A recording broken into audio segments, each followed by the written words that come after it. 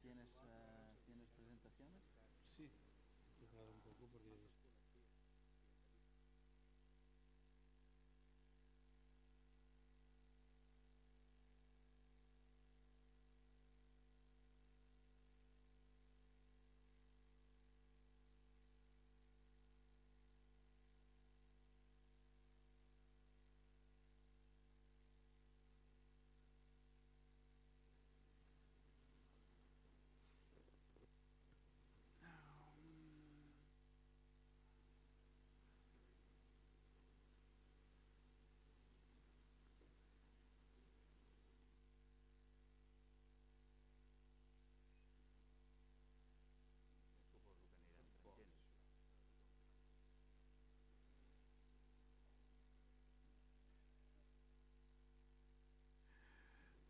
Uh, bueno, pues uh, buenas tardes, muchas gracias. Uh, sé que hay bastante gente tomando el café, o sea que os agradezco que el café ya lo hayáis tomado antes.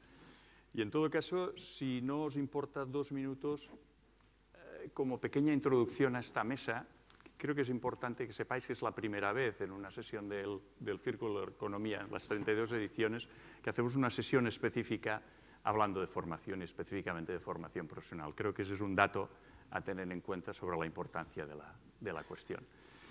Os decía que como introducción a, esta mesa me gustaría hacer una pequeña, si me permitís, una pequeña referencia a mi aproximación a la, a la formación profesional. Yo hace seis años pensaba que la formación profesional era una especie de, de espacio colateral al sistema educativo que servía fundamentalmente para aquellos alumnos o bien que no estaban especialmente motivados o que tenían unas capacidades, por llamarlo de alguna manera, relativas, menores, ¿eh? y que en todo caso no les permitían seguir el proceso más normalizado de la enseñanza primaria, la enseñanza secundaria y la universidad.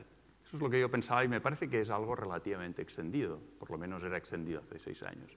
Ha habido tres hechos en, en mi vida que me han hecho cambiar sustancialmente esa perspectiva. Hace cinco años mi empresa ganó un concurso de, de, la Generalitat para hacer la evaluación de la formación profesional en Cataluña, y aunque yo no dirigí ese proyecto, eh, sí que bueno, me interesó especialmente los resultados y me impactaron sobre todo tres cosas. La primera es que de los centenares de centros que había de formación en Cataluña, como mínimo había medio centenar que eran centros realmente extraordinarios, centros que tenían una dinámica de relación muy fluida con las empresas, que eran muy flexibles, que además tenían una, una dinámica interna muy empresarializada y que además otra sorpresa para mí es que estaban razonablemente bien dotados de, de, de infraestructuras, tenían buenos equipamientos. Esa fue la primera cosa que me sorprendió. La segunda, me sorprendió un poco más, fue, por llamarlo de alguna manera, el ambiente en las aulas. Hicimos muchas encuestas a alumnos, hicimos encuentros con los alumnos y nos encontramos la antítesis de lo que eran los tópicos. Es decir, no nos encontramos gente desmotivada, gente que, que no iba a clase, gente que eh, pasaba, nos encontramos gente motivada. Y la tercera cosa que nos encontramos en esa evaluación es que otro tópico, otra rotura de tópico, es que nos encontramos profesores especialmente motivados. Cuando parece que son profesores quemados, nos encontramos todo lo contrario. Eso fue un cambio importante. Perdonad, vimos otras cosas. La eficiencia organizativa del sistema nos parecía manifiestamente mejorable y así lo trasladamos en nuestros informes. Esa fue mi primera aproximación que me hizo empezar a cambiar mi visión de la, de la formación profesional en Cataluña. La segunda es mucho más personal y, si queréis, mucho más singular, pero de una potencia creo que no menor. Participo en una pequeña, en una empresa de mantenimiento eólico me aproximé, la feria más importante de mantenimiento eólico en España, de eólica en España es en Zaragoza, fui a ver nuestro stand, estaba por allá, un ratito, nada, para verlo, y, se me y entraron en nuestro stand tres personas que dijeron que eran tres profesores, creo que era el coordinador del jefe de estudios y, y un par de profesores más, de un instituto público de Tarragona, y que nos empezaban a preguntar, él era su director, Francesc, nos empezaron a preguntar por cuáles eran nuestras perspectivas de futuro, qué tipo de perfiles necesitaríamos, necesitamos, qué tipo de perfiles necesitaríamos. Yo estaba pasmado. Un instituto público en una feria eólica en Zaragoza preguntando a una empresa qué tipo de necesidades formativas van a tener. Este fue un cambio para mí, otro impacto importante. Y la tercera cosa, que es una de las que más me, me, emocionan, es participo en el, Círculo de Economía y una de las mejores cosas que tiene en estos momentos el Círculo de Economía son los premios de educación. Este año hemos hecho la novena edición. Hace tres ediciones, uh, uh, entre las candidaturas que había, había un centro de formación profesional, Conta de Ríos, en torno al cual tuvimos un nivel de acuerdo extraordinario entre todo el jurado. Un centro extraordinario, realmente, un centro de más de 1.300 alumnos, centro público, con todas las rigideces que ustedes se pueden imaginar, pero que tenía una dinámica extraordinaria, que tenía acuerdos con multitud de empresas, que tenía una relación con la petroquímica de Tarragona extraordinaria. Ese fue mi tercer encuentro con el sistema de, de formación. Esa fue la primera vez en el que el Círculo de Economía en sus premios dio un premio a un centro de formación profesional. Y como les decía, la unanimidad fue relativa o extra, muy elevada. Esa, es, ha sido mi, mi aproximación a, al espacio de la formación profesional en Cataluña. Y por supuesto mi visión hoy es radicalmente diferente a la que era. Mm, yo difícilmente me hubiera planteado que uno de mis hijos hiciera formación profesional. En estos momentos mi hija mayor acaba de terminar el, el, el grado superior de formación profesional. La, la, el objetivo de esta sesión es un poco eso, el, el, objetivo de esta sesión es trasladarles experiencias reales desde diferentes perspectivas, desde una perspectiva más institucional, desde una perspectiva del centro de formación, desde una perspectiva de las empresas, la situación de la formación profesional en Cataluña y por extensión en general en toda España. La verdad es que para ello tenemos, yo creo que el mejor panel que podemos tener. ¿eh? Y sin más dilación, si os parece, empezamos un poco la, la dinámica. La idea es intentar generar un diálogo, ¿eh? lo máximo fluido posible. Es verdad que tenemos algo menos de tiempo de lo que teníamos pensado, pero así lo intentaremos. Si os parece, empezamos por, por Francisco. Francisco Belil es en estos momentos el vicepresidente de la Fundación Bertelsmann de, uh, y además es el presidente de la Fundación uh, Princesa de Girona es uno de los dos ingenieros que tenemos en, en, en la mesa. Ha sido CEO... Pero hay más ingenieros. Hay más en, en la mesa, en la mesa ah. o en este semicírculo. ha, ha, sido CEO de, de, de Bayer y eh, también eh. CEO de Siemens en España. Eh, Francisco, un poco el, el planteamiento, la, la, primera pregunta que te quería, que te quería plantear es... Eh, ¿Tú crees que las empresas catalanas, las empresas españolas entienden que para conseguir los perfiles profesionales que, eh, que necesitan mm, tienen que hacer un esfuerzo, una implicación importante en el propio proceso formativo, o más bien seguimos en el paradigma de que es el, el sistema eh, formativo el que tiene que producir el output y luego las empresas contratar mediante procesos más o menos eficientes de, de, de selección. En ese sentido, ¿qué cambios en su caso deberían producirse para que esa implicación, sobre todo con los más jóvenes, se pudiera producir? Eh, pues muchas gracias. Eh, déjame tal vez que de una pincelada global antes de contestar directo a tu pregunta. Eh, en Cataluña, en España, hemos hecho muchas cosas muy bien hechas y somos referencia para muchos. Pero en el tema de la formación profesional, por desgracia, no lo somos. Eh, tenemos una larga tradición en el país, porque ya en la época, en, la, en, el medioevo ya, había, ya teníamos gremios, ya teníamos gente que, tenía aprendices, el herrero, el panadero, etcétera, etcétera. Antes de la, de la guerra nuestra se estaban haciendo muy bien aquí en Cataluña muchas de estas cosas y con la llegada de la democracia nos creímos todos de que teníamos que ir a la universidad o si no es que no valíamos eh, con el resultado que tenemos actualmente, con unos paros, eh, las estadísticas son apabullantes, o sea, es, eh, nuestras estadísticas de primaria, por ejemplo, un 45%, mientras que la media europea es de un 24%, en secundaria aquí tenemos un 22%, en Europa un 44%, en terciaria más o menos volvemos a estar otra vez en 33 los dos. Eh, nos falta estos mandos intermedios, esta gente con una formación profesional, que a la, vez es la que soporta mmm, en los grandes países de Europa Central y del Norte, soporta gran parte de la economía, gente muy bien formada. Eh, podríamos ver estadísticas de, desempleo juvenil espantosas, porque somos farolillo rojo con Grecia, eh, abandono escolar, el número de contratos profesionales y formación profesional dual, que aquí en España tenemos aproximadamente un 2, algo, por debajo del 3%, media europea un 14%, pero países como Alemania que están en un 60%. O sea, el diagnóstico está hecho, nos hemos de concentrar en eso. Eh, ¿cómo, ¿cómo, podemos imaginarnos la formación profesional dual? Eh, yo me lo imagino siempre como un arco. En el arco, mm, cada piedra es importante. Pero hay una piedra arriba de todo que llamamos la clave. Y hasta que tú no pones la clave, los constructores, y aquí hay algunos, lo saben muy bien, hasta que no has puesto la clave del arco, el arco no se aguanta.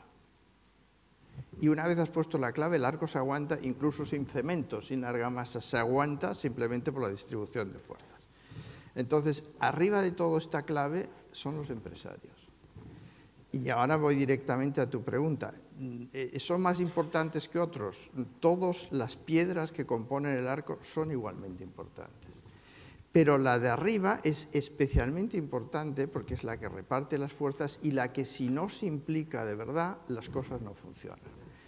Em, yo estoy metido en el mundo este de la formación profesional desde hace, lo comentaba ahora, desde hace más de 30 años, donde monté yo una escuela en México porque me encontré con una serie de producciones que no podía gestionar con la gente que tenía, en el mercado no las encontré, las tuve que formar yo mismo. Me traje dos especialistas de Alemania, construí un edificio y empecé con la dual. Eh, la BASF enseguida me ayudó y unimos fuerzas en este sentido. Entonces, o somos capaces, y por eso es importante que se hable aquí en, eh, el Cercle de Economía, o somos capaces de convencer a nuestros colegas empresarios de que es parte de su función el formar a la gente, o si no, no iremos a ningún lado. O sea, el, concepto de que los empresarios estamos ahí para generar riqueza, para generar puestos de trabajo, todo esto es muy válido, pero hay uno más que es fundamental, y es que los empresarios hemos de ser copartícipes, nos hemos de arremangar y hemos de participar en la formación de nuestros, de nuestros jóvenes. Porque por el otro lado, eh, la, competitividad de nuestras empresas y, por ende de nuestra economía va a depender de eso. Porque en el siglo XXI, mm, cuando ves factores de competitividad, antes eran materias primas, eh, eh, situación geográfica, etc. Hoy en día se van desplazando más hacia personas, personas, conocimiento e innovación. Y por lo tanto, o tenemos esta gente bien formada o realmente no iremos a ningún sitio. El futuro de cualquier empresario pasa por involucrarse en la formación de su propia gente, de forma directa, a poder ser con formación profesional dual, o si no, al menos indirectamente manteniendo el contacto con los institutos, los centros de formación, las universidades, etcétera, para explicar realmente lo que necesitan y para que la formación de estos jóvenes sea hecha a medida de sus necesidades. Si eso no funciona, la, economía no será competitiva. Muchas gracias, Francisco. Pasamos a Guillem. ¿eh? Guillem es eh, licenciado en Ciencias en Sociología, en Ciencias Políticas y Sociología. Es un experto en materia de formación y, empleo, ha estado trabajando en Generalitat, en el Servicio de, Empleo de, la Generalitat. En estos momentos es el coordinador para la Alianza de la Formación Profesional Dual, lo explicará seguro, pero es una alianza en la que se trabaja con 200 empresas, es que está impulsada por la Fundación Bertelsmann, Caja a la Cámara de Comercio, por la Fundación Princesa de Asturias, Princesa de eh, Girona, y por eh, la COE, ¿eh? y además es senior manager de la Fundación Bertelsmann. Eh, un par de preguntas. Que, lo digo para intentar aclarar un poco conceptos. Esto no va de conceptos, pero algo habrá que, que intentar clarificar. ¿Qué es dual y qué no es dual? Y la segunda, digamos, de, de más calado, es desde tu punto de vista, desde este eh, em, eh, observatorio que tenéis tanto desde la Fundación Bertelsmann como desde la Alianza, ¿cuáles son a tu entender los factores de éxito que permiten la implantación de un sistema dual, de un sistema de formación profesional dual eficiente, eficaz en, un país? Bueno, buenas tardes a todos. Efectivamente, soy ah, coordinador de la Alianza para la Formación Profesional Dual. 30 segundos os explico lo que es. Em, para hacer, y ahora voy a entrar en la segunda pregunta, para ah, que un país adopte con éxito una política como esta, que puede tardar pues, entre 5 y 10 años, ¿eh? es necesaria mucha cooperación. ¿eh? creo que lo vamos a, trabajar durante, durante, este panel. Y la Alianza para la FP Dual es justamente esto, es un espacio, es una plataforma donde convergen diferentes actores para que España adopte un modelo de calidad, de calidad, y esto es otra vez un concepto muy importante, de calidad en FP Dual. ¿eh? Ya entraremos también, pero este proceso no tendrá demasiado sentido si no es para aumentar la calidad de la formación profesional en general, ¿eh? me refiero a la modalidad dual. Pero eh, dicho esto, y una idea más simplemente de la alianza, la alianza son 200 empresas, hemos empezado el proyecto hace un año y medio, en el que estamos trabajando sobre todo para apoyar a, las empresas a realizar su primer proyecto de FP Dual. Nos hemos dado cuenta Em, que este primer paso, esta primera llegada, sobre todo para las pymes, es complicada y si hay una capa intermedia que puede organizar esa llegada, eso tiene mucho impacto y, vamos, a, vamos, a, entrar a, lo largo del panel. Pero para responder a tus dos preguntas, Gregori, yo diría que para situar un poco el debate, no, no, tengo tampoco el conocimiento de, la audiencia, pero cuando estamos hablando de FP Dual, hablamos de lo siguiente. Eh, hablamos de que una parte relevante de la formación se da en el centro de trabajo, en la empresa. ¿eh? Eso es el componente dual. ¿eh? En España la legislación dice que tiene que ser un 33% del currículum. A nivel internacional hay diversas cantidades, pero sí que es relevante el rol, como decía Francisco también, el rol que asume una empresa como empresa formadora. No son unas prácticas, ¿eh? no estamos hablando aquí de hacer unas prácticas para complementar un currículum, no. Aquí son dos agentes que se corresponsabilizan de formar y los dos son igual de importantes. Eso está en el, en el núcleo del concepto dual. Un segundo, una segunda característica muy, muy de núcleo también es que estamos hablando de formación profesional inicial, por lo tanto en España eh, y en Cataluña del grado medio de formación profesional al cual se accede desde la educación secundaria obligatoria y del grado superior al cual se accede actualmente desde el, desde el bachillerato. ¿eh? Por lo tanto, esa imagen que tenemos de la FP, de, la FP1 y la FP2, pues ya no, ya no es. Y, por ejemplo, para acceder hoy en día a un grado superior de FP se necesita el bachillerato. ¿eh? O sea, son chicos y chicas que o van a la universidad o van, o van a la FP.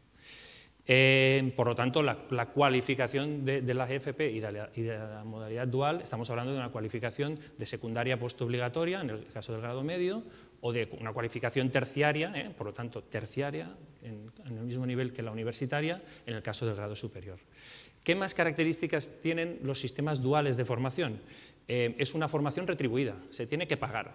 ¿eh? Los empresarios tienen que pagar eh, el aprendizaje en las empresas. Y normalmente esta retribución eh, se hace mediante un, contrato de trabajo, en España también mediante una beca, que es financiada por el, por el, empresario, es otra de sus, de sus características. Y finalmente también una característica que define la FP Dual, los modelos duales de formación, es que la empresa tiene una voz, y esto es muy potente y muy relevante, y hay un marco en Cataluña muy bueno para hacerlo, eh, tiene una voz en la definición, en la adaptación, en el seguimiento de los currículums. ¿eh? El Departamento de Enseñamiento, en, este caso, por ejemplo, eh, hace adaptaciones curriculares a las demandas de los sectores económicos, y esto se hace y se ha hecho, y no es ciencia ficción, y es relativamente sencillo de, que suceda. Por lo tanto, yo diría que este es un poco lo que es la, formación profesional dual y también digamos que la, investigación ha determinado algunos condicionantes de adopción, ¿no? factores de éxito de país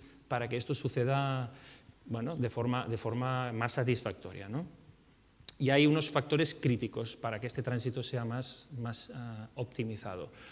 El primero es la tradición del país en, formación profesional. ¿eh? Un país que tiene una formación profesional tradicional, sin ser dual, más asentada, tiene más posibilidades de hacer este tránsito con, éxito. También el prestigio de la formación profesional. ¿eh? Eh, y en este sentido, ya entraremos después también, las prácticas tradicionales de FP son una buena vía para llegar a la, FP dual, porque recordemos que en la FP, en toda la FP ya hay prácticas, ¿eh? un 20% del currículum. Otra característica muy simple, pero, pero muy interesante, por, por, parte de un país para poder adoptar esta política. Los empresarios tienen que poner plazas a disposición. Si no ponen, es una condición sine qua non. Si no hay empresarios que pongan plazas de FP dual, no hay FP dual. Em, otro, condicionante, em, las condiciones de la formación en la empresa. Tiene que haber un cierto control, mecanismos de control del aprendizaje en las empresas. No nos podemos permitir el lujo en FP dual que no haya una experiencia de aprendizaje muy potente en una empresa, porque si no, nos quedamos con el sistema que ya teníamos. Em, también la FP Dual ah, añade complejidad a la organización de los centros de FP. La verdad es que los profesores eh, de alguna forma lo disfrutan, pero lo sufren también, sobre todo los primeros años. Por lo tanto, la capacidad de organización del sistema de FP de un país es otro ah, factor crítico para poder ah, adoptar una política de FP dual. Y simplemente un par, un par de ellos más, o tres más, yo diría más importantes, muy rápido. Em, hay otros actores que juegan en la formación profesional, en su modalidad dual, que si son fuertes, por ejemplo, las cámaras de comercio, tiene más éxito una política de, FP dual, por lo tanto, actores externos al sistema, em, un marco regulatorio claro, ¿eh? eso en cualquier política, pero también en la, en la formación profesional dual, y yo diría, en un marco regulatorio claro y compartido con una visión a largo plazo compartida entre todos los actores. Es decir, lo que siempre hemos dicho, que las leyes de educación, los reglamentos no los podemos ir cambiando cada, dos por tres. Yo diría que estos son los factores críticos para que un país pueda adoptar la FP dual. Gracias. Muchas gracias, Guillem. Uh... Tienes, eh, tienes dos minutos más luego. cada aplauso vamos a ir dando una especie de premio, si os parece. ¿eh? Vamos bien, pues estáis ciñendo perfectamente al tiempo. Francesc. Francesc, fundamentalmente, es el exdirector del Instituto Comte de Rius. Los que vinieron a la Feria Eólica de, de Zaragoza nos vinieron a ver y los que ganaron el, el premio de, del premio de educación del Cerca a la Economía hace tres años. Es el director del Centro de Formación Profesional por Excelencia en Cataluña. Es un placer tenerte, tenerte aquí. Ah, ha habido recientemente un merecido reconocimiento, yo sé que eso no te gusta mucho que lo digan, pero le han dado el premio a la trayectoria individual del Consell Català de la Formación Profesional de, de, Cataluña. Ha, hecho un cambio, ¿eh? ha hecho el salto a la, a la política y en estos momentos es eh, conseller regidor de formació, educació, eh, promoció econòmica i ocupació de l'Ajuntament de Tarragona. -huh. Francesc, eh, ¿cómo conseguisteis mover un mamotreto de 1.300 alumnos eh, con todas las rigideces que tenía, eh, con todas las limitaciones y hacer un centro que cuando hablas con, con Repsol te dicen, bueno, esto es, es el Harvard es el Harvard español. ¿Dónde está el milagro? ¿Dónde está el secreto? El milagro. bueno, buenas no tardes. sé, esto es una cuestión de creencias ya. bueno, primero tener la suerte de, de, estar muy bien acompañado en estos proyectos. Aquí hay personas que hemos compartido proyectos, aquí hay personas que hemos compartido proyectos. Hace un momento te comentaba el presidente de la Generalitat no sabien que venia. No sabia que venia. No, no, sabia, no sabia que venia. Estaven fent les referències a la, a la teva implicació en tot l'àmbit de la formació. I, I explicaré el per què, però no sabien que venia, president. Eh, realmente el, eh, para un, un instituto público mm, eh, el, el, éxito estuvo y está en, en actuar a demanda, ofrecer ciclos formativos y certificados de profesionalidad a demanda. ¿Qué necesitan las empresas? ¿Qué perfil necesitan? ¿Qué competencias necesitan las empresas para sus futuros trabajadores? Esas son las preguntas que nos formulábamos y que compartíamos con las empresas. Después de esa reunión, ¿qué hacíamos? Elaborábamos el proyecto y cuando lo teníamos diseñado, se lo enseñábamos a la empresa para que lo pudieran compartir. Y ahí estuvo la clave. Y cuando decíamos en el proyecto que lo cerrábamos y lo compartíamos, era, por ejemplo, un tema, ¿qué horarios? Cuando actuamos a demanda, es posible que el horario, el curso escolar no empiece en septiembre, sino que empiece en, diciembre.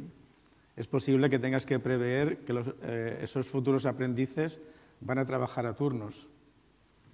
Y eso realmente eh, era una apuesta de un modelo de centro donde la flexibilidad sería importante. Otro concepto importante que tuvimos la suerte de que la Administración catalana y el presidente, yo se lo he oído muchas veces y a la consellera Rigau también, era el tema de qué alumnos, ¿se puede hacer selección de alumnos para hacer FP Dual antes del proceso de matriculación? Esos interrogantes que nos planteaban las empresas, desde el instituto lo que, lo que procurábamos con la complicidad de la Administración y de las empresas es dar la solución, dar la solución cerrada. Un día alguien vino y dijo, es que queremos hacer una FP dual transnacional, que luego Erwin lo va a explicar. Para poderlo hacer posible, tuvimos la complicidad de la Administración, de decir, ¿cómo vamos a hacer una FP dual donde estos alumnos al final van a trabajar en Alemania? Eso quiere decir tener una mentalidad abierta, flexible, de adaptación, donde realmente hay un enriquecimiento del claustro de profesores, el enriquecimiento es mutuo, los tutores de la empresa forman parte ya del equipo docente, van a evaluar, vamos a compartir la evaluación. Quiere decir que estás construyendo un tipo de centro, estamos construyendo un tipo de centro con otra mentalidad, mucho más abierta, mucho más flexible, mucho más adaptable. Y realmente esto se ha podido hacer de la mano de las empresas, de la mano de la administración, si no, no se hubiera podido, no se, no se hubiera podido hacer. Todo y que he dejado de ser director, luego lo comentaré, sigo, sigo impulsando la FP Dual desde, desde el, el, ayuntamiento. Entonces, resumiendo, flexibilidad, adaptación, enfoque, como ustedes dirían, al, al cliente. Si eso es así, al final las personas salen mejor formadas, son más competentes, tienen más oportunidades de trabajo, que es lo que todos de, deseamos. ¿no? Eso es básicamente lo que ha sido. Muchas gracias. Nos saltamos dos minutos y medio, es un poco menos intenso, uh, pero está bien. Saltamos al ámbito de las empresas, si os parece. Eh, vamos con, con, Erwin Raue, que es el CEO de BASF España, es el vicepresidente también del Business Center of, uh, de BASF uh, Operaciones en, en, en, el sur de, en el sur de Europa. Es economista por la Universidad Católica de, de Milán y tiene múltiples eh, cargos representativos en muchas asociaciones de tipo sectorial y empresarial. Yo creo que lo que, lo que toca eh, es que nos expliques el, el, modelo, el modelo de BASF, sus características, el por qué habéis entrado en, en esta dinámica y cuál es vuestra experiencia, sobre todo en el ámbito de ese proyecto transnacional en el que habéis tenido múltiples relaciones con diferentes personas de esta mesa o de este bueno, en primer lugar, buenas tardes y muchas gracias. Tienes razón, uh, que creo que muchas de las otras personas que están aquí son las, uh, los pilares de la formación dual o de las cosas que hemos hecho en este campo aquí en Cataluña y en España. Hablar de experiencia, hablar de formación dual por una empresa alemana es hablar de un tema que conocemos desde muchísimo tiempo y, pero tengo que decir que es mucho, mucho más difícil hablar de esto en España. ¿Por qué? Porque cuando hablamos de formación profesional, todos pensamos de inmediato al fontanero. Tú lo has dicho antes, es la gente que no ha acabado exactamente con, que no tenía muchísima gana y que ha hecho este tipo de escuela. Uh, detrás de este modelo y por qué hemos llegado a este modelo. En primer lugar, quiero agradecer a Francesc porque si no encuentras una persona que está convencido que el proyecto puede sacar a éxito, nunca lo llegarás. En ti hemos trovado en tu instituto los que nos han permitido seguir una idea que ha nacido en un momento un poco particular para nuestra economía.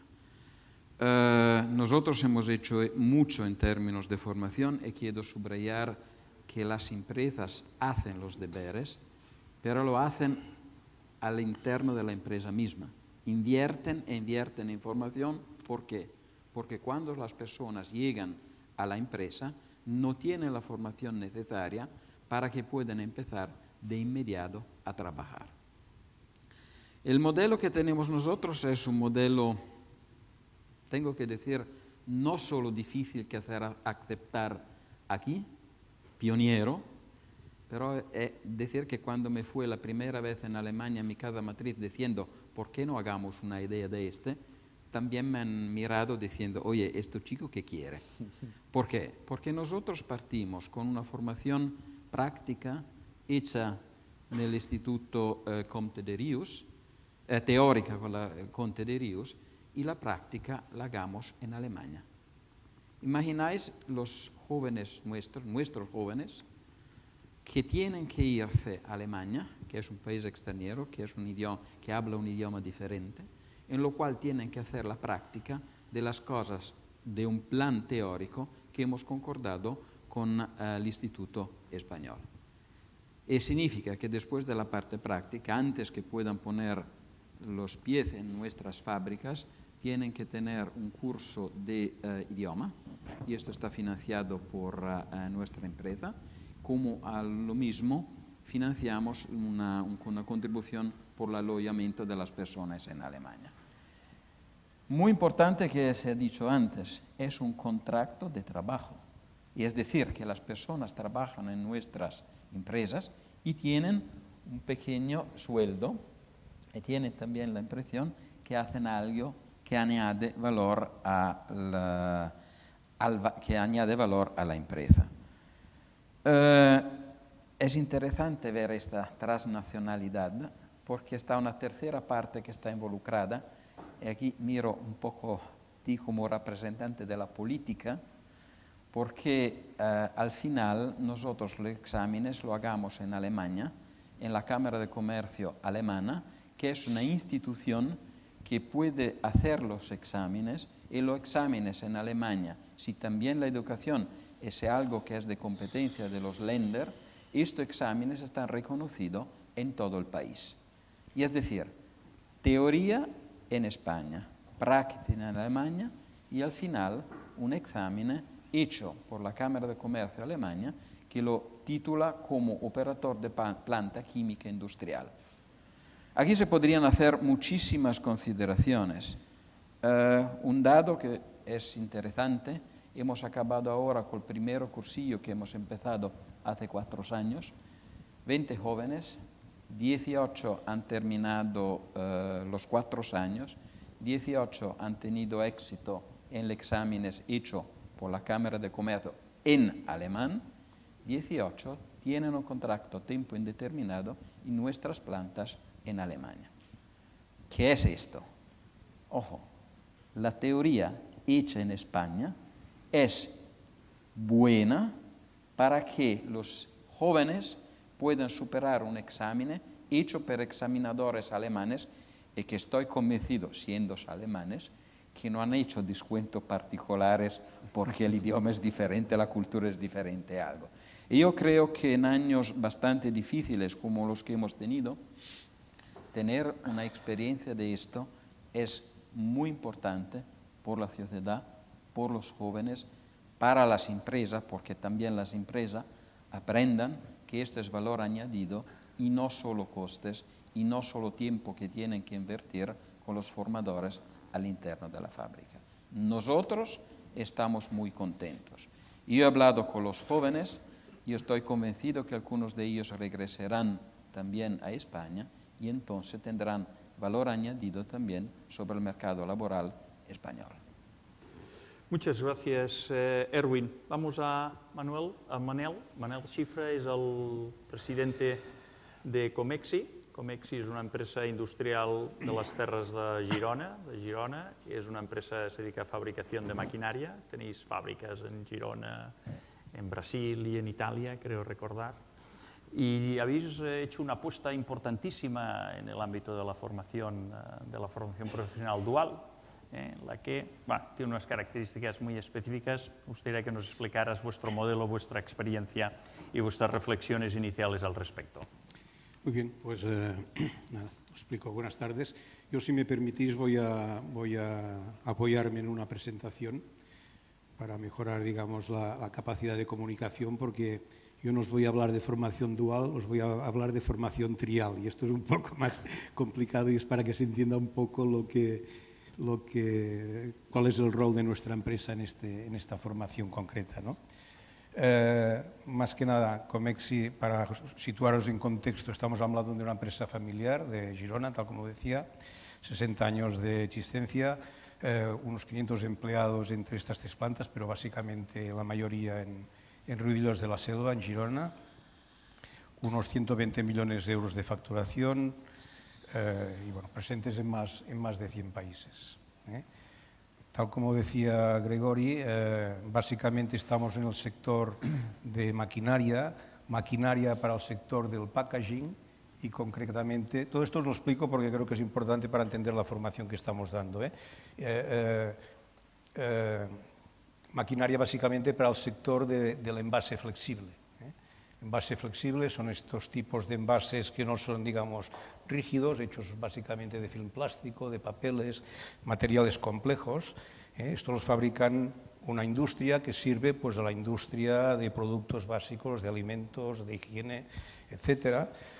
Les entregan este tipo de, pequeños, eh, pequeñas bobinas que van a las máquinas envasadoras y el proceso de producción de estos tipo, este tipo de envase, pues básicamente yo diría, son, tienen unos equipos de impresión, que Comex se suministra los, de, los tres tipos, una, unos equipos de impresión, unos equipos de laminado que unen vaya, varias capas de film con adhesivo para que tenga las propiedades de conservación del producto que envasa, y una máquina que corta la medida concreta del envase que va a ir a la máquina envasadora de su cliente.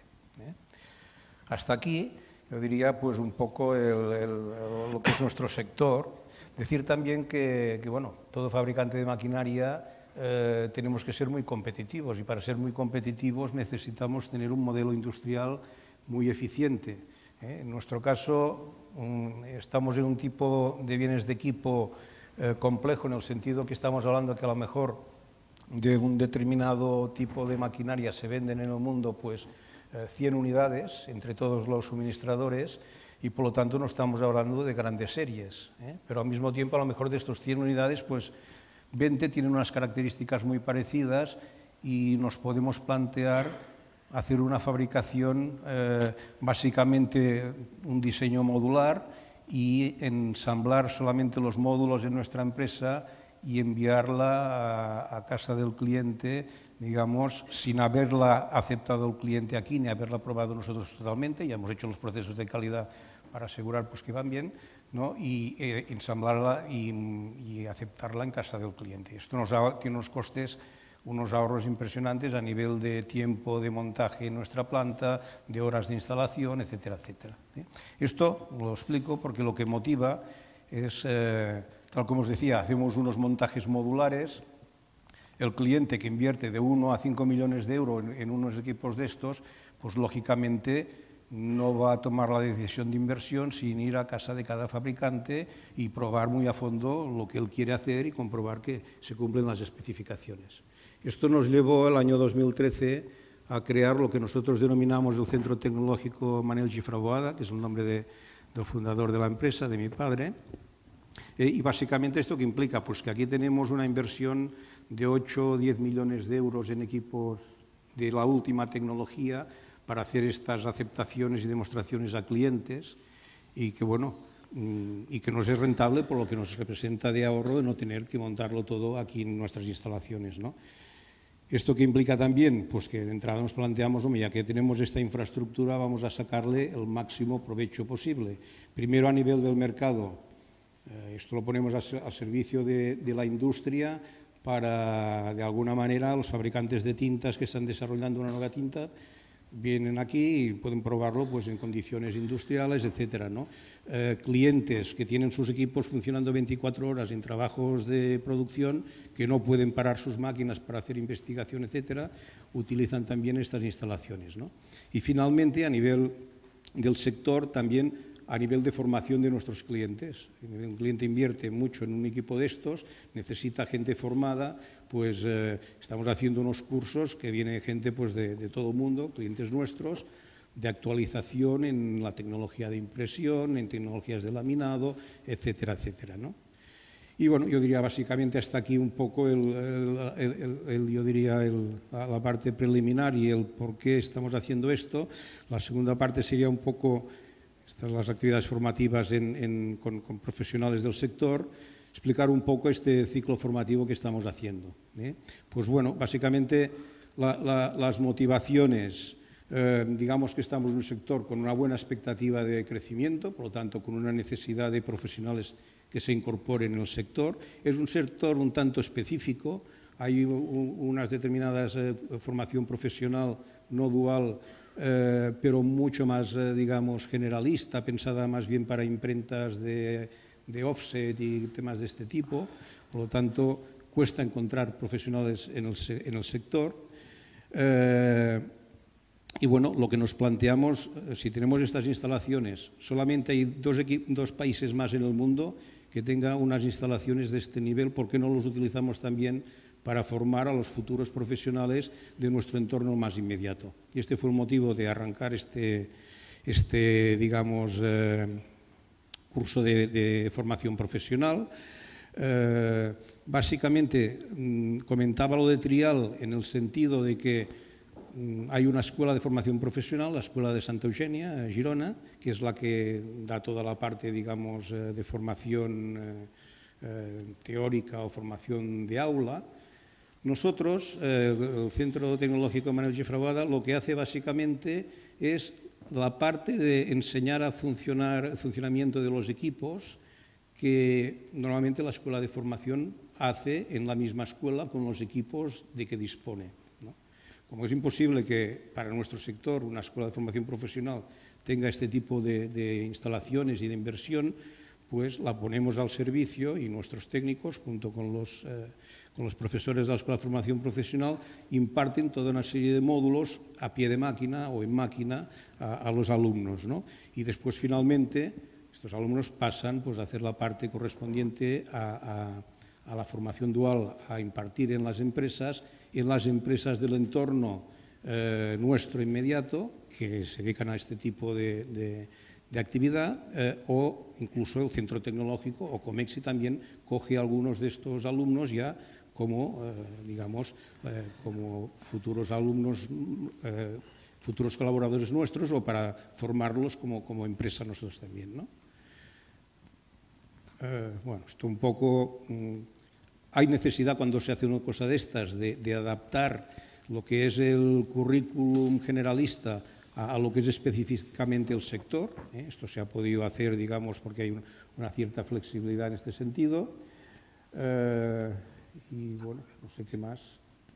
Sí, también es interesante. Esto sería el primer, el primer año, es, una formación profesional de grado medio, dos años. ¿eh? Se puede ver el primer año, básicamente los alumnos están en la escuela, una parte en Comexi, en el centro tecnológico, después seguidamente pasan a hacer unas prácticas formativas, creo que es el mes de julio primer año, el, mes de, creo que es de, agosto, ya empiezan la formación dual en la, en la, en la empresa donde van a hacer la parte de empresa eh, y al siguiente curso ya hay una parte muy importante en la empresa, tres días a la semana eh, y un día a la semana están en el centro tecnológico y el otro día, el otro día en, en, la escuela. ¿no? Eh, bueno, yo creo que esto ya va a salir Mm, de los comentarios, me lo ahorro. Solamente comentar, bueno, esta es la tercera promoción la que estamos realizando este año, por lo tanto la primera, digamos, ya está trabajando en las empresas. Yo diría que el porcentaje de éxito es muy alto, del orden de un 70-80% de los alumnos acaban trabajando en la empresa donde han hecho las prácticas. Las empresas están repitiendo sistemáticamente cada año también el coger a un alumno de formación, formación profesional dual y bueno, yo diría que es en este sentido una experiencia que está funcionando bastante bien con las limitaciones que después quizá podemos Hablaremos, hablaremos de las limitaciones. Muchas gracias. Utilización, proyecto de utilización eficiente de los recursos. Ah, Francisco, sé de tu obsesión por la implicación de la dirección en los procesos de, de formación. Mm, sigamos un poco con ese hilo. Bueno, eh, yo considero que es básico. De, hecho, en, la alianza esta que hemos creado, mm, es un criterio de adhesión fundamental. O sea, si eh, tenemos siempre una imagen, vale más que mil palabras, un hecho, que, la, que la gerencia, el director general, el presidente se involucre personalmente en esto, es lo que marca realmente toda la organización. Entonces, nosotros hemos visto mm, un poco ejemplos de todo, de los que el presidente dice que sí, pero a la, la verdad no hace lo que tenía que hacer, y en cuyo caso la gente enseguida lo lee entre líneas y pasa a ser como una obligación más, y donde el presidente dice yo me involucro porque esto para mí es una inversión estratégica y esta es la visión de verdad de futuro. Eh, hay pocas inversiones estratégicas más importantes que la formación de tus empleados eh, en aquellas las cosas funcionan. Entonces, eh, nuestra recomendación solo puede ser que el presidente, el máximo ejecutivo, se moje y lo haga además interesándose personalmente, mostrando en cualquier eh, acto que se haga en la empresa, etcétera, que él está al lado de estos jóvenes, yendo a ver lo que hacen, preguntando a sus directivos cómo lo están haciendo, reconociendo a los tutores, que son unas figuras fundamentales en, la formación, hay tutor de empresa y tutor de centro de, la, empresa, em, dándoles apoyo, distinguiéndolos, etc. Cuando esto está así, las cosas eh, funcionan, si no, no.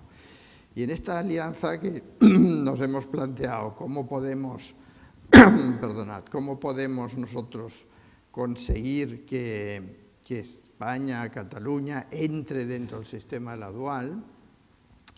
Eh, con la creación de esta alianza lo que hemos hecho es, em, como hacemos en las empresas, ser muy ejecutivos y lo que hemos hecho es formar 10 grupos de trabajo. Em, tenemos 200 empresas, pero crecen cada día porque cada día tenemos más eh, empresas que quieren adherirse. Yo los invito a los aquí presentes que quieran adherirse, que, que lo hagan, no cuesta nada, solo reciben ayuda y se comprometen a la dual. Entonces, en los 10 grupos estos de trabajo que tenemos, están cada uno dedicado a un tema específico que es fundamental. Uno de ellos la comunicación. O somos capaces de cambiar la percepción que tú tenías antes y que ahora ya por suerte no tienes de lo que es la dual, o las cosas no funcionarán. Y aquí se tiene que hacer este esfuerzo.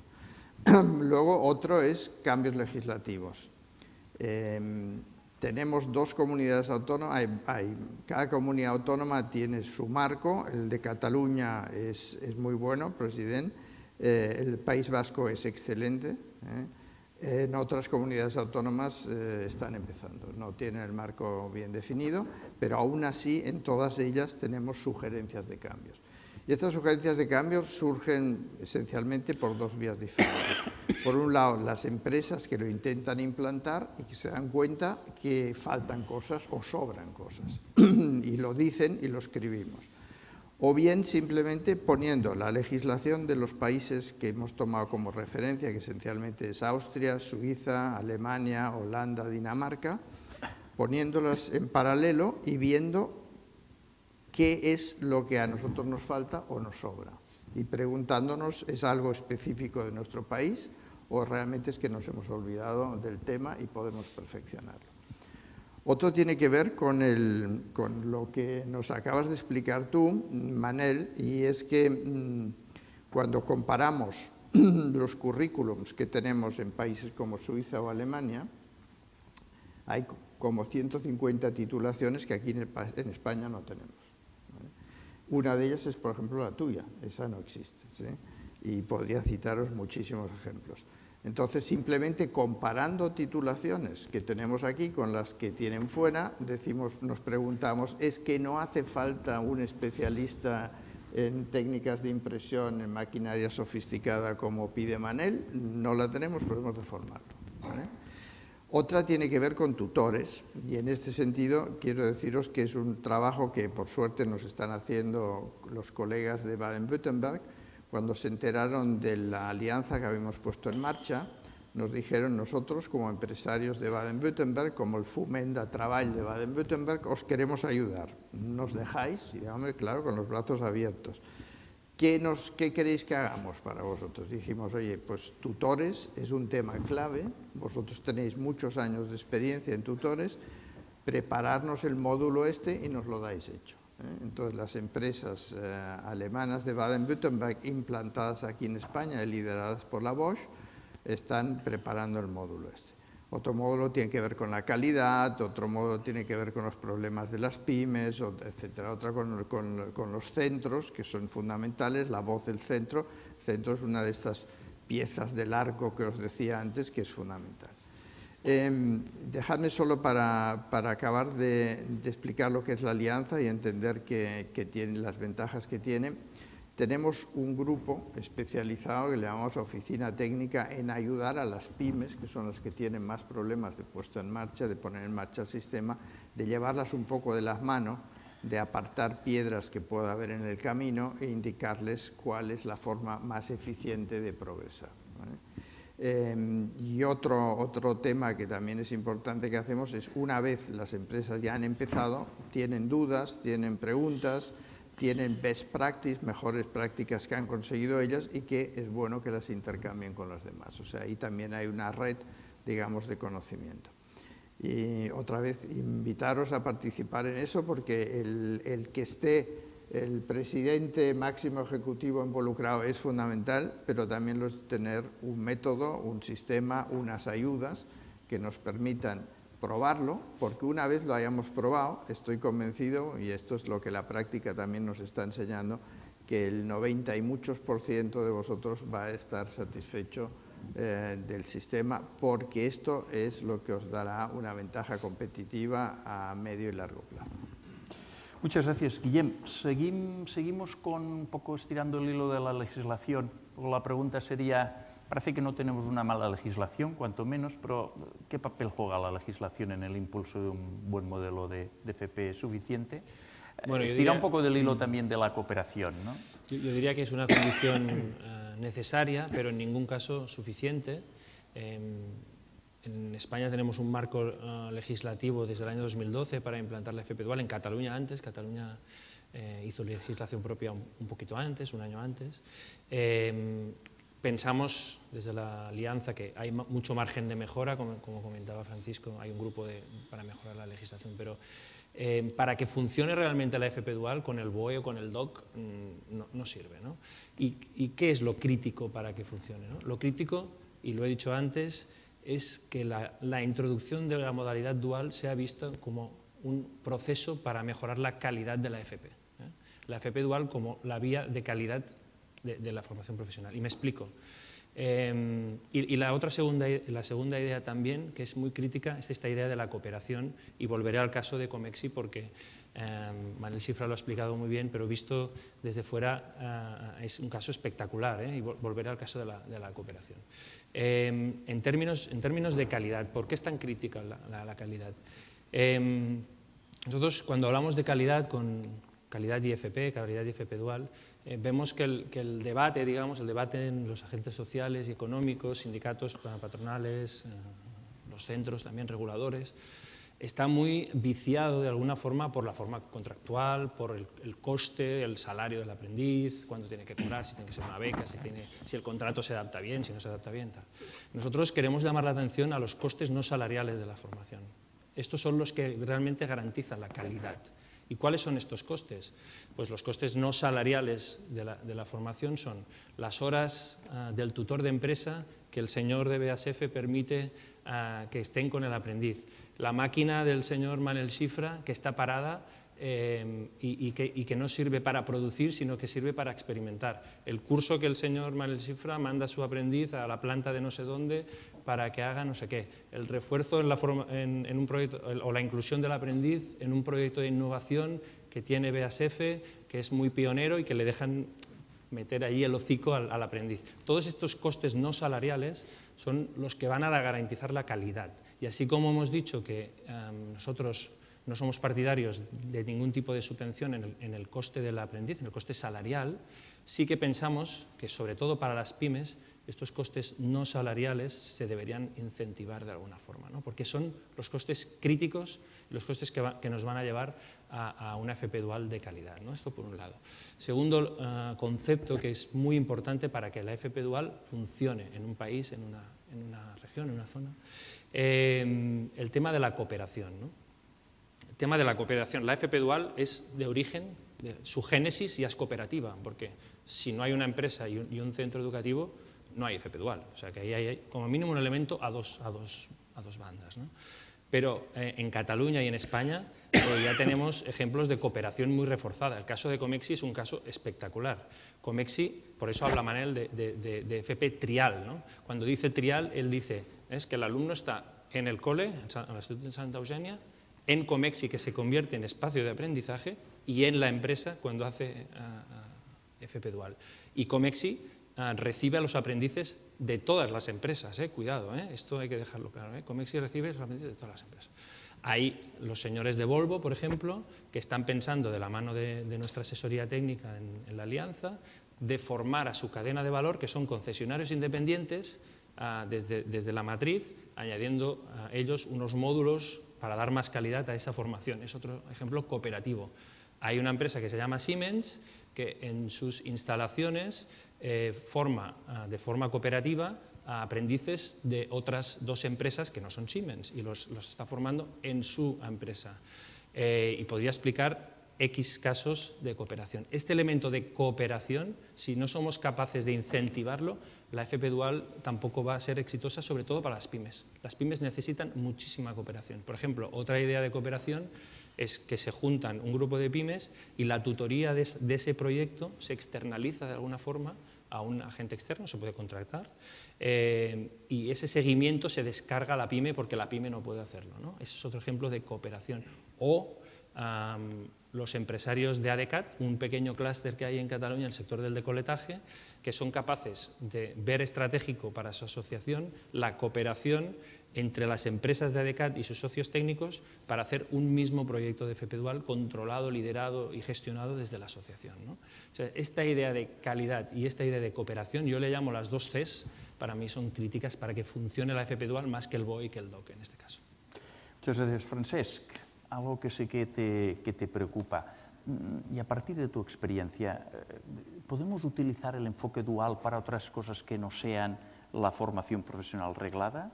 Eh, ¿Podemos utilizar la FP, podemos utilizar el enfoque dual eh, para aquellos colectivos que están más fuera o están más alejados del mercado de trabajo? ¿O aquellos, o en la formación continua? Un poco, creo que ahí tenéis experiencias también desde el ayuntamiento. Eh, lo ha explicado muy bien Guillem, una parte de la FP dual la está focalizando en los ciclos formativos, pero hay otra forma de impulsar la formación profesional y es con los certificados de profesionalidad que dependen de la Consejería de, Trabajo. Es importante porque a veces para ocupar un, puesto de trabajo mm, es posible que con una formación de 700 horas sea suficiente, no hace falta hacer 2.000 horas. Y, aquí sí que hay que decir, primera cosa, eh, tenemos una ley potente, eh, que es la Ley de Integración de la Formación Profesional del antiguo Gobierno de la Generalitat, que es un acierto, es la integración eh, de, la oferta de la Consejería de Trabajo y de la Consejería de Educación.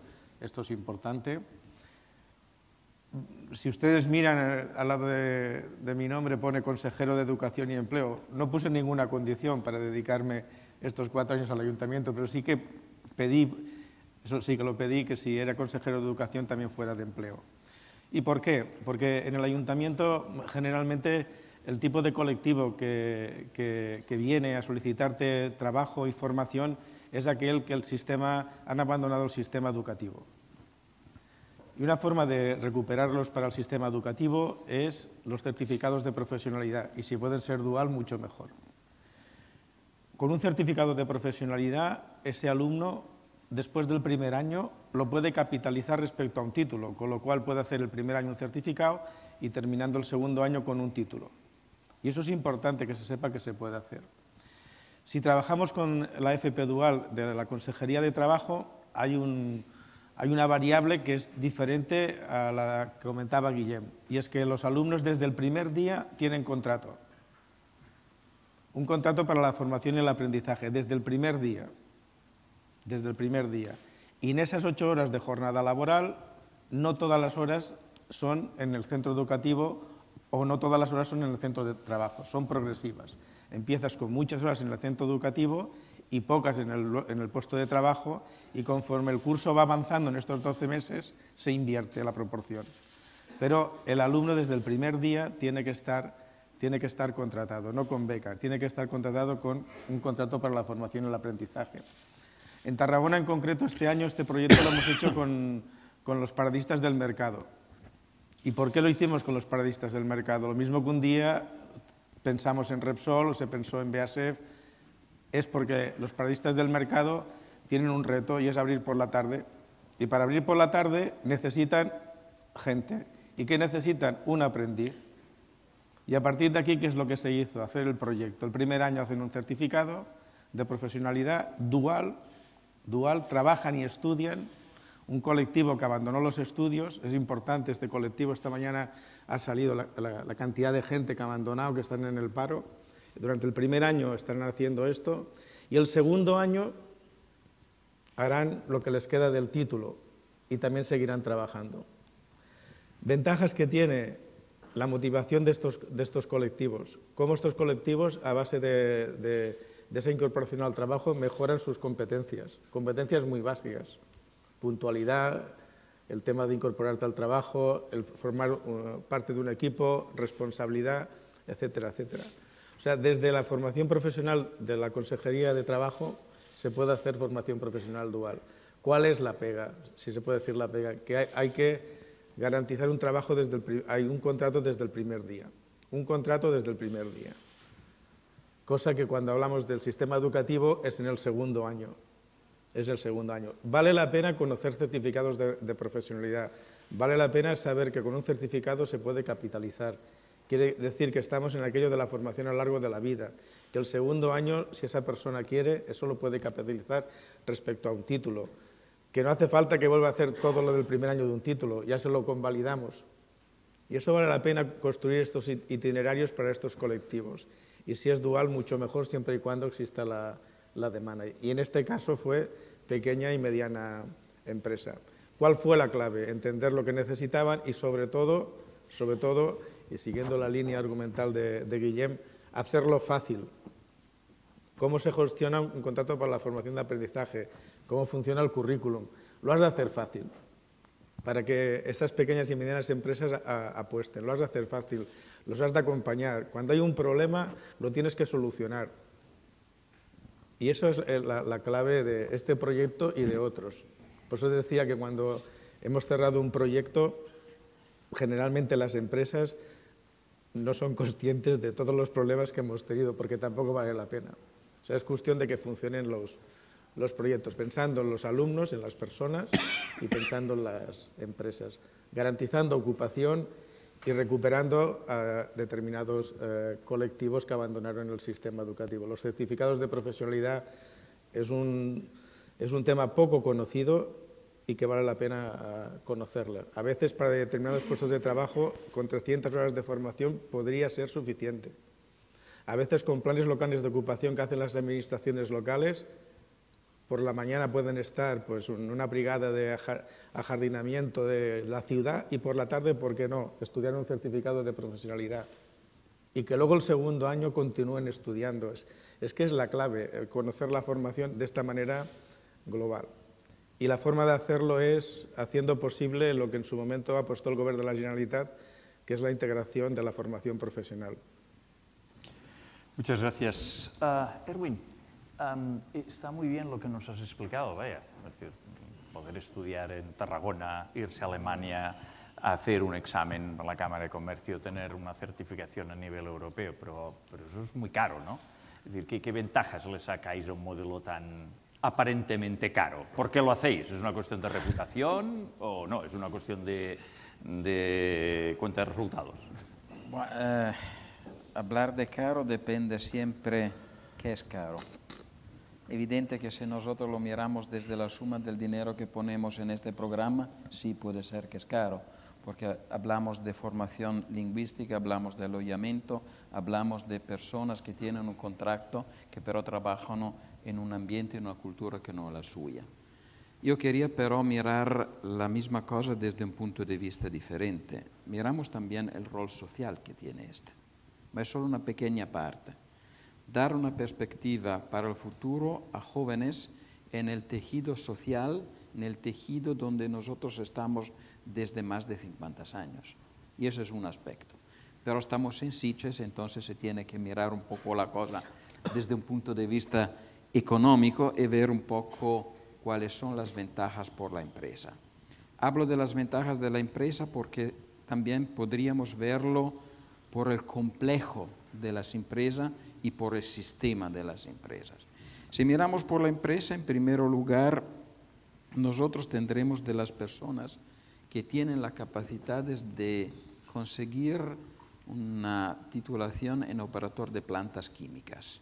Plantas químicas industriales, estamos casi en el mismo sector tuyo, que nosotros no tenemos siempre la especificación que necesitamos. Es una formación dual que es de cuatro años y entonces es muy completa y empieza de las reglas de los ABC que habéis eh, dicho vosotros antes, puntualidad, trabajo, orden, es cosas. Y además estamos hablando de empresa química. Empresa química que requiere seguridad y capacidad de trabajar en un ambiente que tiene algunas reglas específicas de cómo funciona y también de, de seguridad. Pero quería subrayar un otro aspecto. Es verdad que tenemos hijos jóvenes españoles, catalanes en Alemania. Al final de estos cuatro años, para nosotros estas son personas que además de la formación como operadores de planta química, tienen ya una experiencia internacional. Han salido al exterior, han sabido adaptarse, en comillas, a una cultura que es muy diferente de la nuestra, y ahí han trabajado aprendiendo otros valores y otras culturas. En pequeño voy también a subrayar un otro aspecto. Vamos a verlos como embajadores. Nosotros estamos presentes en todos los países. También tenemos muchísimas actividades en el sur de Europa. Y la opinión pública del centro norte de Europa sabemos que ha comentado en los últimos años. Cuando la gente, nuestros obreros, nuestras personas que trabajan en la planta, descubren que son hijos jóvenes normales, ellos son también embajadores de nuestra cultura en un mundo donde falta Europa y no sobra Europa. Y eso es una ventaja por la ciudad. Eh, hemos dicho que estamos en Sitges, soy economista, claramente lo he mirado también de, otro, de un otro punto de vista. Si no haría este, ¿cuáles serían los costes por mi empresa? Bueno, podría irme clarísimamente da una empresa especializada, voy a fijar las personas, hago la selección, pago lo que tengo que, eh, que pagar y el día uno esto llega a mi fábrica. Primera cosa que tengo que hacer es invertir en formación. Las cosas que hemos dicho antes que valen para toda la empresa y además las cosas que son específicas de nuestras empresas químicas, del polígono petroquímico que muchos de nosotros conocemos muy bien y entonces esto por algunos meses como trabajadores de mi empresa tendrían una capacidad de trabajar bastante limitada.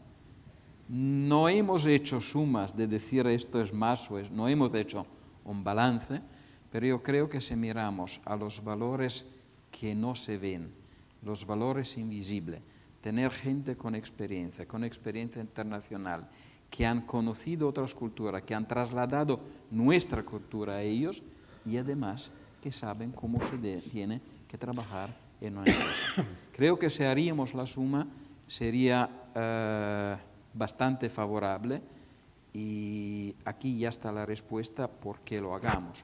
En parte lo hagamos por una responsabilidad social que tenemos, porque es un sistema de formación que está muy conocido y apreciado de todo el sistema industrial alemán y además porque tiene muchísimos valores invisibles que pero nos permiten de ser una empresa de éxito.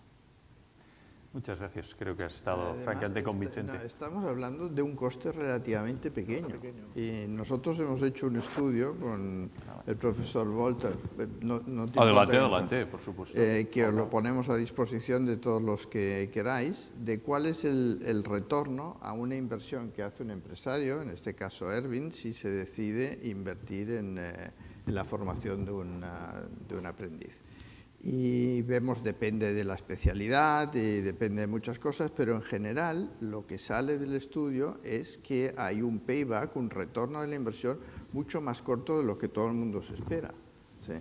Eh, estamos hablando de una cantidad realmente pequeña y, y al final, si, si, vemos en qué dirección se están moviendo las cosas en el siglo XXI, nosotros vamos cada vez más a pensar en, economías circulares, o sea que tenemos que empezar a, ver las cosas en la perspectiva total, holística, a lo largo de todo el circuito.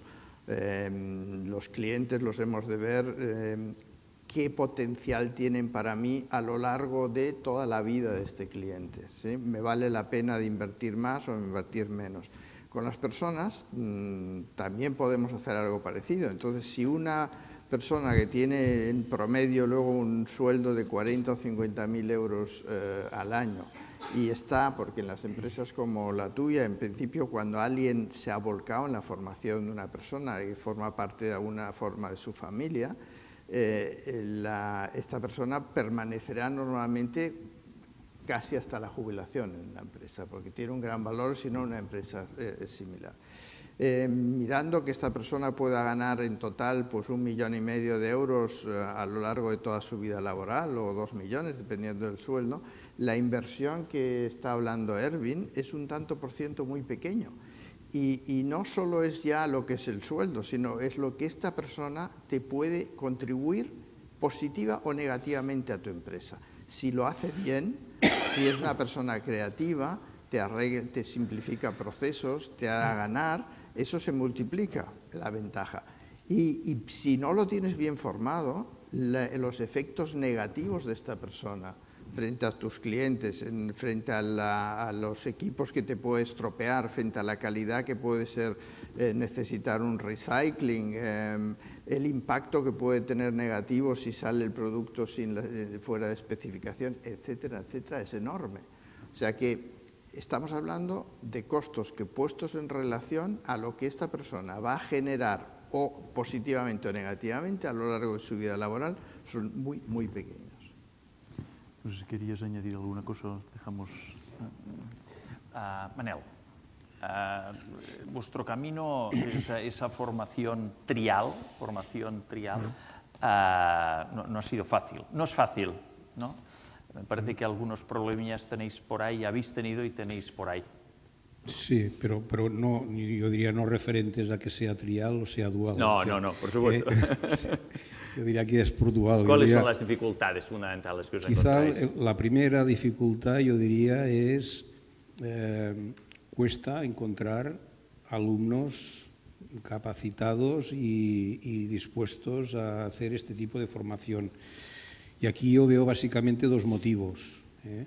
Me acuerdo hace cuatro o cinco años fuimos con una, una delegación de empresarios eh, FEMCAT, fuimos a, a, Baviera estuvimos estudiando un poco el sistema de formación dual eh, allí, tanto profesional como universitario, que también es otro tema, sí, otro, otro tema muy interesante.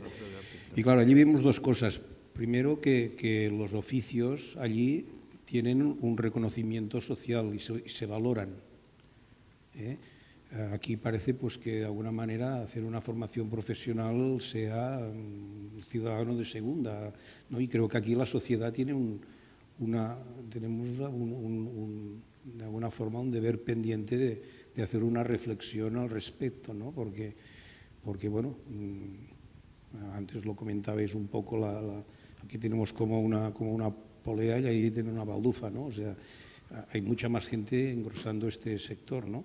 Una cosa que a mí me sorprendió mucho allí es el hecho de que a cierta edad todos los alumnos, no sé si es los 12 años o una edad de este tipo, hace, se les hace como una evaluación y de allí salen unas recomendaciones. Y las recomendaciones, tal como lo entendí yo, es esta persona se, se, se, se, le aconseja orientarse hacia una formación universitaria, esta se le aconseja orientarse hacia una formación profesional. Y si el que le ha tocado profesional eh, quiere ir a universitaria, que se lo pague. No sé, esto es lo que yo entendí. ¿eh? Esto aquí no, sería no. algo... Lo que pasa es que la, la formación profesional dual no te cierra ninguna puerta. No, no, claro, bueno, este es otro tú tema, Puedes, sí. y, y de hecho nosotros, Sí, sí, sí, sí, sí, sí, sí, Nosotros, claro, claro. Que este es otro tema pendiente aquí. tanto BASF como nosotros tenemos eh, empresas, mucha gente en la empresa que ha hecho el camino primero de la dual y después ha ido a la universidad, ha O sea, hecho no- un, no es renunciar y a después nada. un doctorado, una licenciatura y un doctorado. ¿vale? Pero vaya, no sé, que esto quizás sería un tema un tanto interesante de que se hiciera un tipo de... se, se facilitasen estos caminos y, se hiciese hacer esta reflexión a las familias también en un momento determinado. ¿no? Eh, y el otro punto que está afectando mucho a los buenos candidatos es, eh, tenemos una ley de prevención de riesgos laborales del año 1957 que no se ha actualizado nunca. Esta ley del año 57, eh, de alguna forma, pues no permite que se hagan labores de aprendizaje o de formación en, entornos, en ciertos entornos industriales, en muchos tipos de entornos industriales.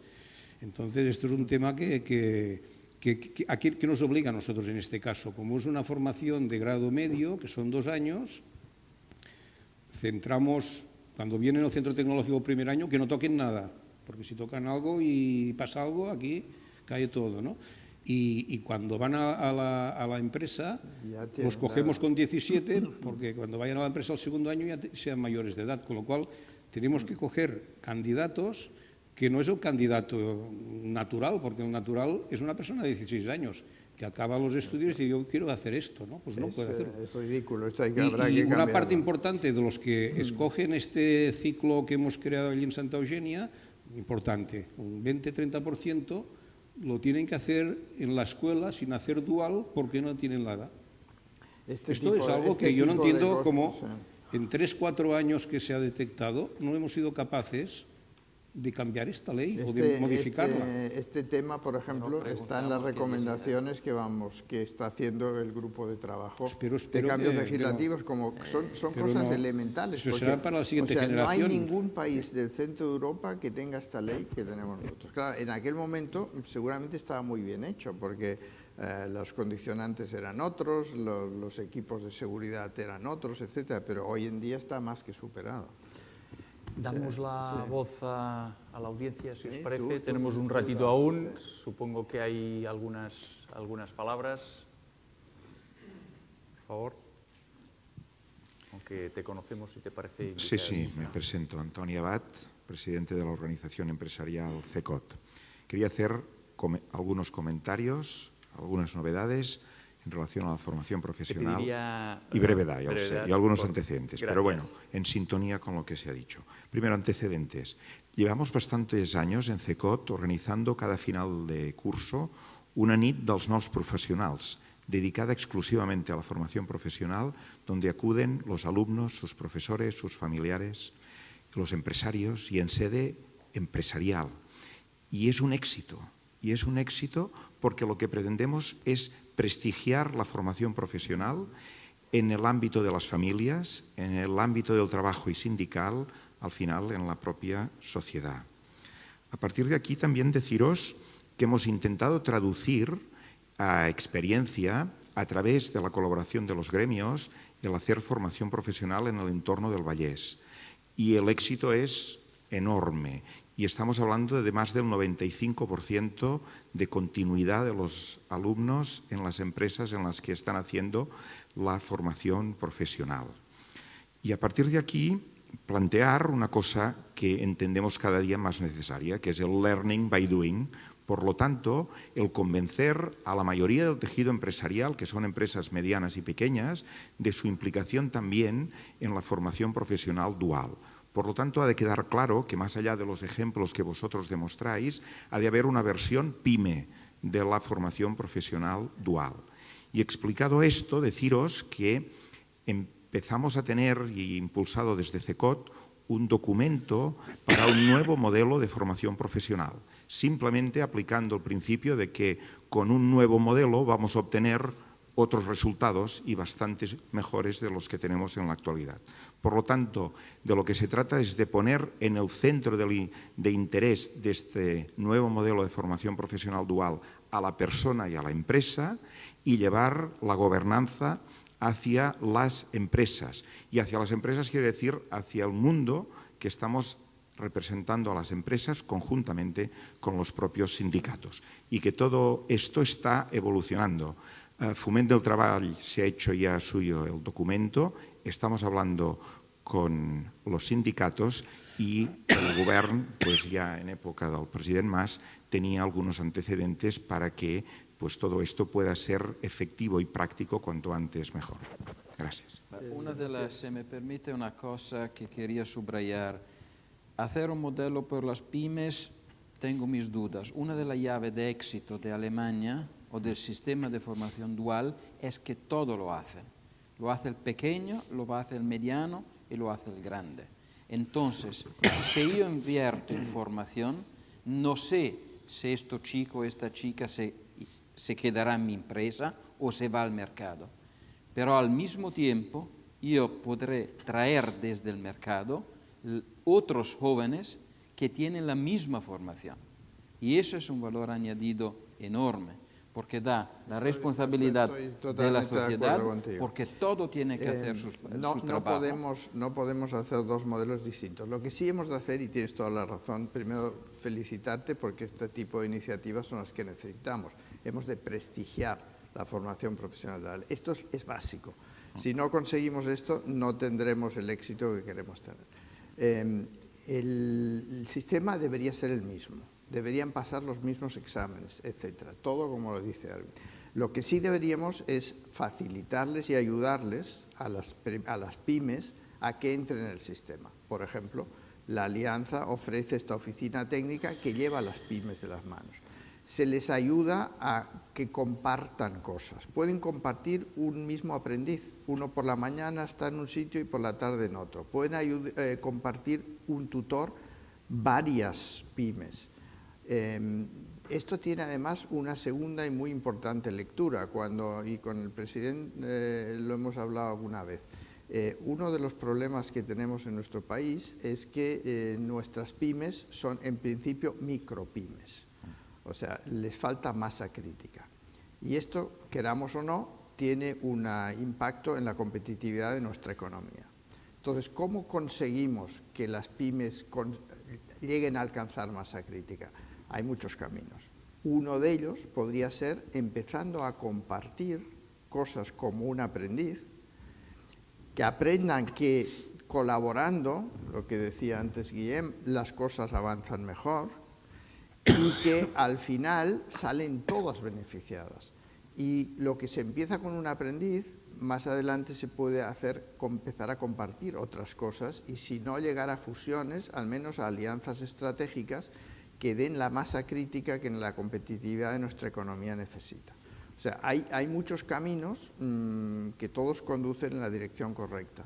Y en este sentido yo solo ofrecerte de que mm, luego, luego podemos continuar hablando y nosotros con FOMEN trabajamos muchísimo, de que a través de, de la alianza podamos ayudar a estas pymes, porque lo que necesitamos entre todos, no hay nada que venda mejor, y esto lo sabéis vosotros, porque todos de alguna forma somos vendedores, no hay nada que venda mejor que el éxito. El que tiene éxito, eso se vende. ¿sí?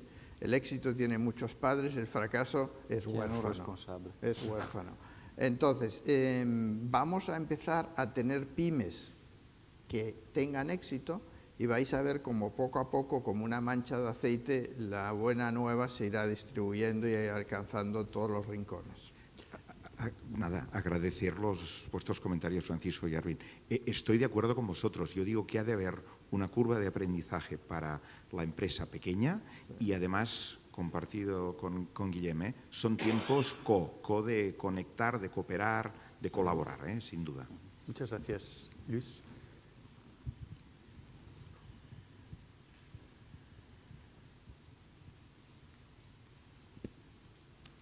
Puedes pasar por delante, no te preocupes. eh, Le han dicho que no. Hace frío, con lo cual igual va bien moverse un poco, pero... Xavi Vidal, Folk, periodista. Dos preguntes telegràfiques. Una, el Manel Xifra ens ha parlat d'un percentatge d'èxit del 70-80%. Voldria saber si els altres ponents eh, combreguen més o, menys, més o menys amb això en la seva experiència? O... És més, més alt que això. xifra? Aún és, més, aún és més alt que això. Primero que se ha acabado... L'altra qüestió... fem la pregunta i... L'altra qüestió seria, l'última xifra que jo he vist estadístiques de la formació dual a Catalunya, eh, no sé si és retar retardada o no, però parla de 560 persones. Aleshores, aquest nivell, eh, quan arribarem a equiparar-nos amb Alemanya? Eh, pues, Per, perdona un segon, comencem, si no us Sí, importa, sí, sí, sí. eh, i fem- fem a l'inrevés vale, ara. vale, vale. Gràcies. Aprofito ya que, aprovecho ya que tenemos aquí también a, a personas con, con impacto político, digamos, para, para pedir a los reguladores que nos empiecen a ofrecer más datos de los resultados de la, de la formación profesional dual.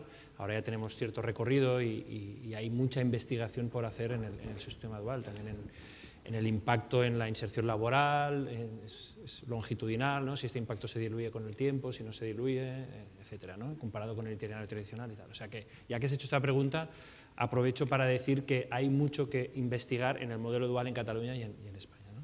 Los resultados de inserción son muchos más altos con el, con el sistema, con la modalidad dual que con la modalidad tradicional de formación profesional. Esto lo ha demostrado el, el Departamento de Enseñamiento junto con el, con el Consell de Cambres de Cataluña, con la primera encuesta de inserción laboral que han hecho de los egresados de FP, en, en el cual han hecho un- una, una estadística de la modalidad dual, pero es cierto que hay cierta ah, opacidad en el, en el tema de los datos, o, o al menos no están trabajados porque ci- ciertamente es una modalidad nueva. ¿no? Y en relación al número de empresas, creo que decías, en Cataluña, que vamos bastante bien, tenemos unas 1.000 empresas ya para el año que viene, unos 5.000 alumnos en modalidad dual. ¿eh? O sea que 500 alumnos sin duda... no- este año deberíamos estar en los 3.500 alumnos en Cataluña en modalidad dual, si no recuerdo mal. Ahora la cifra me baila un poco, pero, pero las previsiones para el año que viene, sin duda alguna, no son de 500 alumnos. Sin duda alguna. En todo el Estado se calculan unos 18.000 estudiantes ah, en la modalidad dual. ¿eh? O sea que casi un tercio serían en Cataluña. Una cuestión a añadir? Sí, yo- no, yo que, o sea, vamos a ver, eh, en principio es, muy, es lógico que tenga éxito. Dejadme que os explique una, una anécdota eh, cuando... ¿Perdón? Ah, no, no, sí, sí. No, hablando con una pyme eh, austríaca, ¿sí? con el propietario, y, y preguntándoles lo que tú nos has preguntado ahora, nosotros le pregunté yo a él. ¿eh?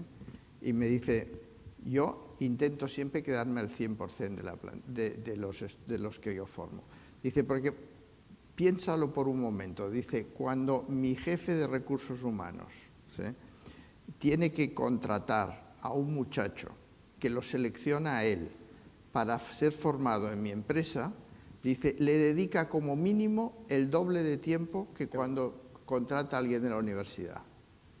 Y dice, y es lógico que sea así, porque la universidad, como no me sirva, en el periodo de prueba lo pongo en la calle y me busco otro. Mientras que yo aquí tengo que buscar un señor que yo de entrada sepa que no solo tiene el potencial para aprender, sino que además tiene el potencial también para integrarse en mi organización, para comulgar de mi filosofía, etcétera, etcétera. Por lo tanto, lo he seleccionar mucho mejor. Después de haber hecho esto, yo lo formo en mi casa y quiere decir que yo personalmente como propietario me intereso por este chico. Y todos mis jefes se interesan por él porque ellos saben que este es el futuro de mi empresa. Dice, cuando él termina el aprendizaje, allí son tres años, en mi empresa, sería un auténtico loco si después de haber invertido tanto tiempo, tanto recursos, tanto cariño en esta persona, yo lo pusiera en la calle. Dice, yo haré cualquier cosa para mantenerlo. Entonces esto te contesta un poco a tu pregunta. eh, y cuando la dual está bien hecha, el resultado es exactamente esto. Es, tú, tú no vas a despedir a tu hijo. Mm, De alguna forma ha sido ya, eh, eh, lo estás apadrinando desde el primer día. Si me permitís, porque como que siempre ha habido un cierto debate sobre el tema de las cifras, y yo, por lo que recuerdo, y lo tengo Y quizá no tan memoria, actualizado, presidente. pero bueno, intentaré ser preciso en la respuesta eh, que planteaba Vidal Fork en cuanto a la pregunta. Deciros que eh, los 560 que tú comentas, Xavier, vienen de cuando se inició hace unos tres años los primeros convenios con una serie de empresas, más grandes o más pequeñas, con el Departamento de Enseñamiento de la Generalitat de Cataluña. Yo recuerdo que tuve especial interés en estar con la consellera Rigau en la entrega de los primeros eh, certificados, por decir así, de los primeros títulos de aquella gente que empezaban con estos convenios con la Administración catalana. Y de esto hace, si no recuerdo mal, unos tres años. Y ahí sí que la cifra inicial era esta, 560 fueron los primeros eh, graduados, los primeros titulados. Pero a partir de ahí, en los años siguientes, como decía muy bien Guillem, pues esto ha ido claramente a más y en este momento, en las previsiones de este curso, ya estamos en los 5.000. Por tanto, en tres años se ha multiplicado casi por 10. Evidentemente 5.000 con las cifras alemanas no tiene nada que ver en proporción. Pero claro, Alemania hace décadas que empezó y nosotros hace unos pocos años, con lo cual estamos haciendo una gran inversión de futuro y lo que tenemos que procurar, al que han de procurar Xavier, es que surti bé, com això estem. Pero fíjate, solo me permites un segundo solo para Un segundo, un segundo, es un segundo, no, para eh, no podemos comparar una con la otra, pero para daros una idea, las últimas estadísticas que tenemos en Alemania hay 500.000 empresas que están haciendo dual, 500.000. ¿Mm? O sea, no es un Porque cuando to- Erwin eh, habla de, de experiencia, hay 500.000, medio millón de empresas Porque todo dual. sistema que trabaja en esta manera eh, va involucrando también todas las partes sociales y está siempre adaptado porque todas las titulaciones de formación dual se revisan cada año mirando cuáles son las necesidades de la empresa y de las diferentes formaciones que tú necesitas. A mí me gusta un ejemplo, el director del programa eh, Ariane europeo de los misiles es uno que ha salido con la formación dual, pero estaba una formación dual indirizada con una titulación en esta dirección que le ha permitido de crecer. Esperemos estar delante de un modelo viral. Vamos acabando. Yo creo que, no sé si había... Sí, vale, pues haremos dos preguntas y cerraremos, ¿vale? Muchas gracias. Josep Soler, Institut d'Estudis Financers. Em, en, relació amb una, en relación a una, a una referencia que ha dicho el señor Cifra eh, mientras hablaba, de hasta qué punto podemos empezar a hablar no solo de formación profesional dual, sino de formación dual. Cómo se debería trasladar también a la universidad un modelo de este tipo.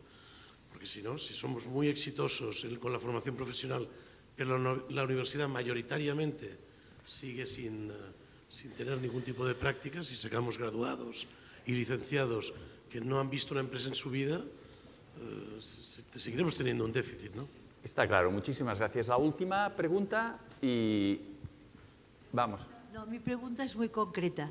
El señor Roca ha estado eh, diciendo que es muy ventajoso para el alumno el que a partir del primer momento que se une a este tipo de enseñanza tiene un contrato con la empresa. Entonces yo pregunto, esto es una ventaja para el alumno, pero ¿y ¿qué tipo de contrato es? ¿Es laboral? Es Eh, laboral, porque puede laboral, ser sí. que el Laboral, empresario sí. al- al- después del primer año o del segundo no le interese este alumno. ¿Qué obligaciones y qué responsabilidades tiene el empresario respecto de este contrato? Nada más. Empezamos por ahí. Ah, ¿Cómo era pregunta directa? Es, es un contrato laboral, es un contrato para la formación y el aprendizaje y en principio estaría con la línea de lo que hemos comentado. La- Cuando tú inviertes, y aquí sí que eh, estamos hablando de inversión, tú lo que intentas es capitalizar esta inversión en el sentido positivo. Yo las experiencias que tengo es que la mayoría de alumnos han continuado con otro tipo de contrato y si no han continuado en esa empresa, han encontrado trabajo en otra empresa. Esa es mi experiencia. Es un contrato para la formación y el aprendizaje, con cotización a la seguridad social y en función de... Aquí, aquí varía, ¿me permites? O sea, o no tenemos tiempo. Aquí, aquí varía un poco, la- eh, entre país y país hay dos formas de, de abordarlo diferentes.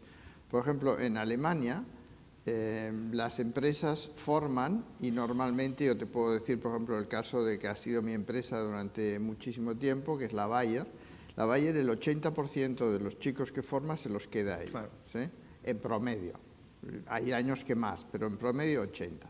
En cambio, en Suiza lo hacen al revés. Se quedan un 20% ellos mismos y el 80% lo dejan en el mercado. O sea, puede darse el caso de que la Bayer en Suiza forme gente y esta gente termine en, en la Novartis. Pero luego la Bayer contrata de la Novartis. ¿Y por qué creéis que lo hacen eso? Porque en principio dices, hombre, parece que yo lo he formado.